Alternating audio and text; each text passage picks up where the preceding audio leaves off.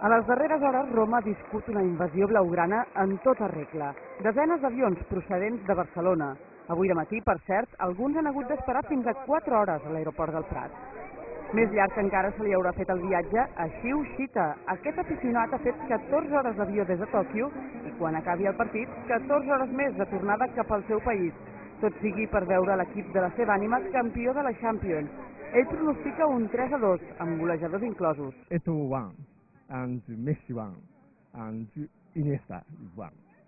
Aquest partit no se'l vol perdre ningú. A Roma també hi és, per exemple, Risto Stoikov.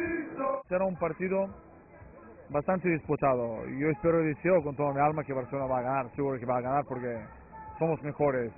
I un altre ex blaugrana que es va acostar ahir a saludar vells coneguts. Atenció, Luis Figo. La il·lusió dels seguidors blaugrana és tornar amb el triplet tan preuat.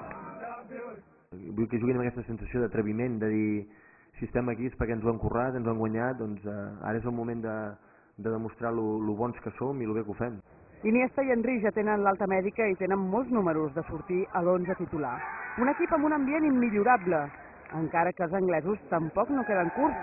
Atenció a les estadístiques del Manchester United. Fa 25 partits consecutius que no perden a Europa. I enguany, a la Champions, només han encaixat 6 gols. Però una dada per animals blaugrana. Mai cap equip no ha guanyat la Champions dos anys seguits i el Manchester n'és el campió vigent.